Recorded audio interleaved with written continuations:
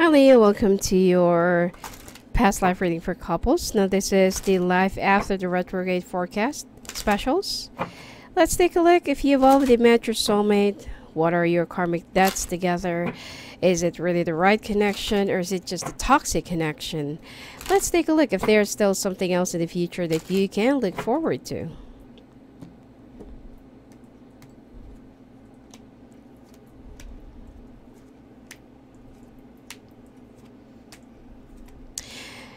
You met your former spouse one summer day or season.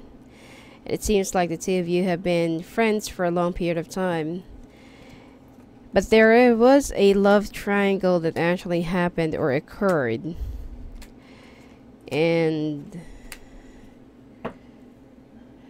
it's like there was a never ending battle between you and this uh, other person. And it seems like you have already promised something to somebody that you will be ending up with them while you're still entangled with someone already. You did not let the other person know that you're already married until that time comes that they found out what you've been hiding is a secret.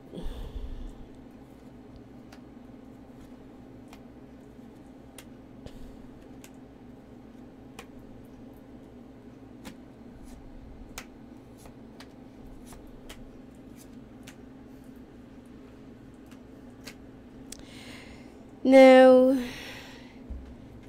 you did not really, you know, you did not, um, it, it wasn't really intentional before for you to fall in love with someone else while you're already engaged or married to someone to somebody else. And um, the other person you know your spouse is almost perfect. They're very responsible. You know they're uh, they're into business. They're very matured noble sophisticated high, highly educated, came from a good family, and you also came from a good family. You're very religious, especially your mother. But um, you were such a problem child in your past life. And you fear your, you know, you fear your parents, you feel your family. If they'll find out what you're, uh, you know, what you've been doing and it seems like you used to be the uh, the black sheep of the family or you used to your mother was always worried about you. Okay whatever you do in your life whatever trouble that you got yourself into and you're you're very strong-headed. Okay? Now in between this that you were caught up with some trouble and it seems like you um Hmm, it seems like you get entangled into something that you were, you know, you were accused of uh, a crime that you did not really committed. Okay? And this is the reason why that you're always afraid of doing something because what if someone will find out about this? What if someone will point it out like this? The other person that you have you know that you have made a promise that you're going to be ending up with them and that they're even willing to you know to wait out for you something have happened to them. And it seems like you ended up being there by their side. And somebody had um, you know somebody saw you with the blood in your hand and it wasn't really intentional because you just saw the person you just saw this you know this guy um, bleeding. And it seems like they were already dead when you're already there. But unfortunately whoever the assailant is they've already run away and they've already took off okay? So you don't know what to do and you don't know what to say until that the knights have already came and uh, nab you you brought a lot of tears and you brought a lot of shame in your family. And that is also the time that your husband or your spouse have found out that you were having an affair. Okay? And the person um the person who actually um died, okay? Is someone who's younger than you. But you know the twist of the story here is this person, okay, who's older than you, already knows that you've been doing something right before you get caught. And I feel like it was only like a twist of fate that when somebody, um, when this person have asked someone to kill off the other person that you're entangled to because he can see that you're so in love with the other one rather than him okay and you only married him for you know you only married this person for money or for stature because both of you came from good families and before it's like um, you know rich people to rich people and rich people to poor people it's like a it's a mm, it's a big shame okay? And just because that this person wants to clean his name that he doesn't want anyone else to know that his wife is you know philandering or taking off with someone who is not even within your level. He asked somebody to you know, to um, to ambush this person or to to kill off this person, and he was killed off at that you know at the place where the two of you will be uh, it, at your meeting place.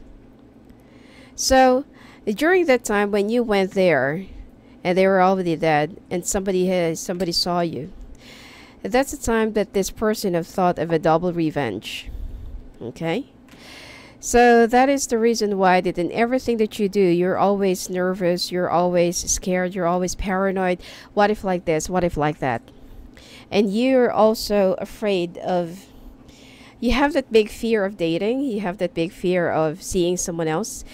You have that big fear of meeting somebody that is, you know, that is already known to you or that you are not yet familiar with. Okay, you're so afraid of um, getting to know somebody because of whatever, you know, because of what happened to you in the past. And that person, you know, that you thought who is a very good person to you because all along this person have also played that they are a good that they are the good cop or the good, they are the good guy they have tried to visit you in the uh, imprisonment and they um they also use their um you know, they also use their, uh, what do you call this? Their authority or their influence uh, to bail you out or to get you out of that mess. Okay? So they already appeared as a hero.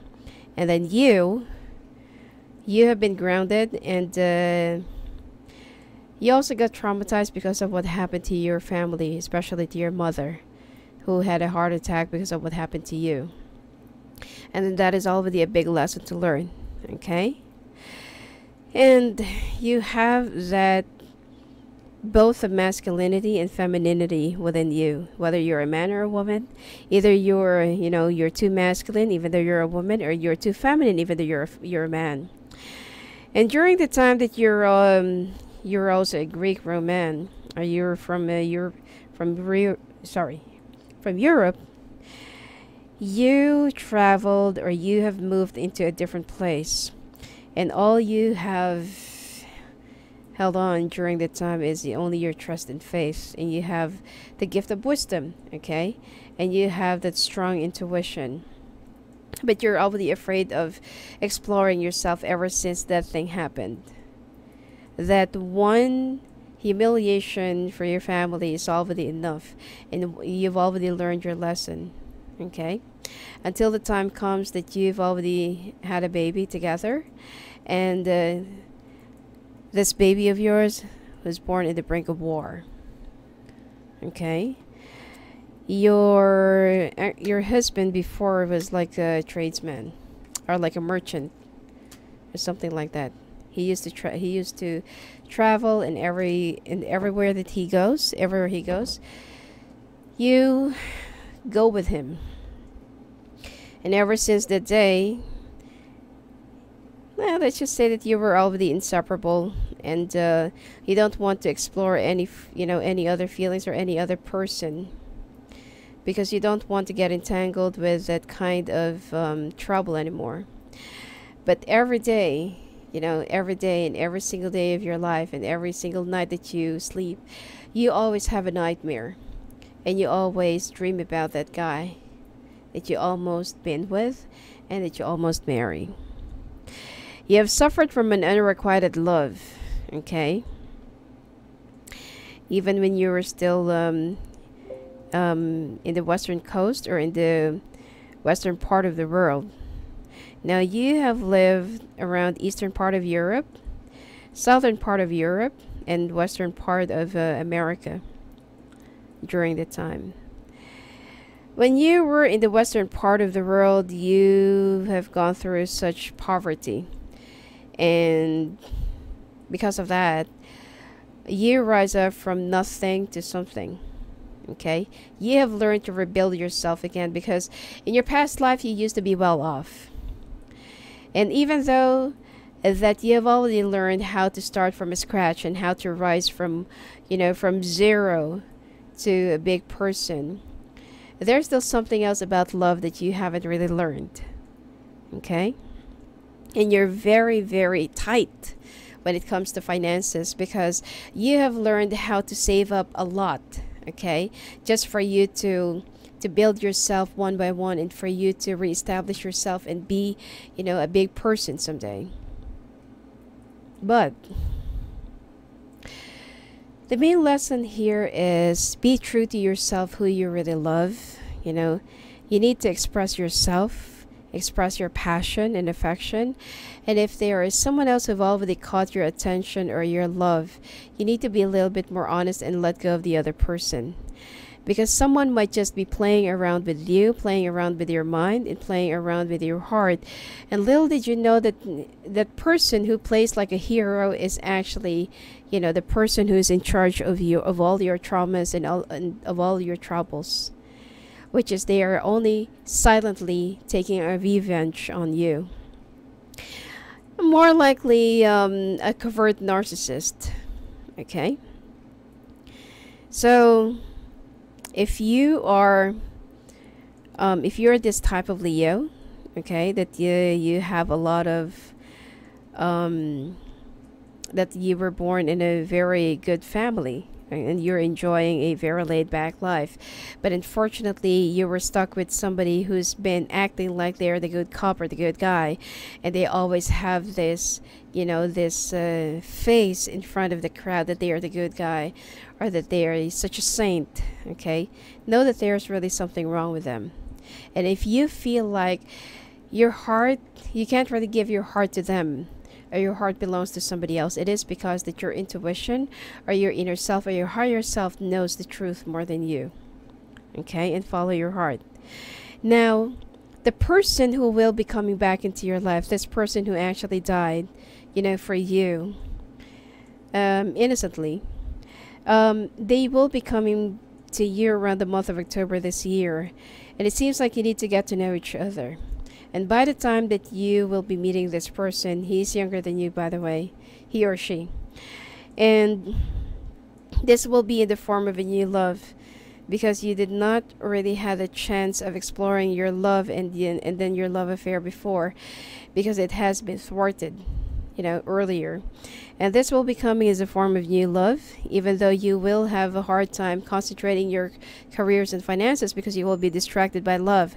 You know, the thing here is you're also very codependent when it comes to your um when it comes to your relationships and you always depend your happiness okay on someone else now you will be moving into a different place or a different area, different country, and you're the one who will be making much more effort. You will be much more caring and thoughtful, and you will also be taking care of this person, and you're also going to be very protective.